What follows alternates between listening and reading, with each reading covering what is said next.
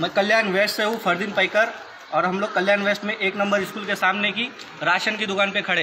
ये thirty eight F दुकान वाला thirty eight F one sixty thirty A F 38 sixty thirty eight F ये दुकान का नंबर है मैं आपको दिखाता हूँ।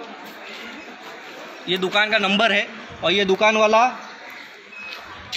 ले नंबर जूम करके ले जूम करके ले।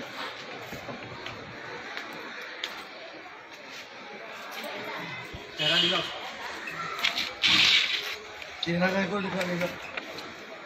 आपको लगेगा टेंशन मत ये दुकान वाला कई दिनों से कई महीनों से हमारे पास कंप्लेंट आ रही थी। पाँच कंप्लेंट एक लेडीज़ ने इसके ऊपर की है फिर भी इस पर एक्शन नहीं हुआ है।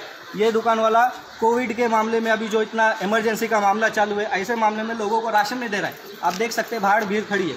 और जिनको और जिनको अभी तक के इसने अनाज दिया है किसी को बिल नहीं दिया है। और जिनको अनाज दिया है, वो अनाज कम दिया है। एसआरसी नंबर पे जितना अनाज मिलना चाहिए, इनको अनाज नहीं मिला है।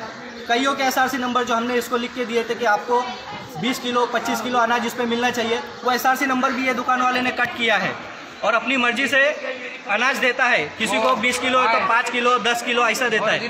तो मेहरबानी करके आप सब इसके ऊपर एक्शन लेके काम करें और ये वीडियो को आगे तक के पहुंचाएँ।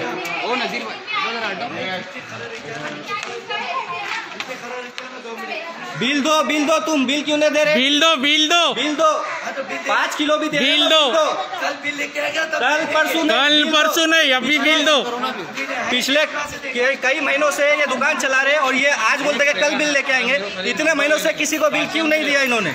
इनको बिल देना माँगता है। हम इनके ऊपर लीगल एक्शन लेने की तैयारी करेंगे। आप लोग का काम है इस वीडियो को आगे बढ़ाओ और इसके ऊपर एक्शन लेने की कार्रवाई करो। और खाला पूरा अनाज लो जितना है। तो बोलता बिल नहीं है उसके बाद तो बिल नहीं है अनाज नहीं है सब नहीं है। तुम्हारा अकेले का बोल रहे हैं ना बाकी सबको बिल क्यों नहीं दे रहा? है बाकी सबको अनाज दिया है तो बिल क्यों नहीं है? जो वेरीफाइड है जिनका है उनको बिल क्यों नहीं है? छह महीने से तुम्हारे पास में बिल क्यों नहीं है? आज के दिन बिल याद आएगा पिछले छह किसको दिया एक भी वेरीफाई अगर तुम्हारे पास में बिल नहीं गया ना काम छोड़ दूँगा मैं ये बोला। है भी नहीं है।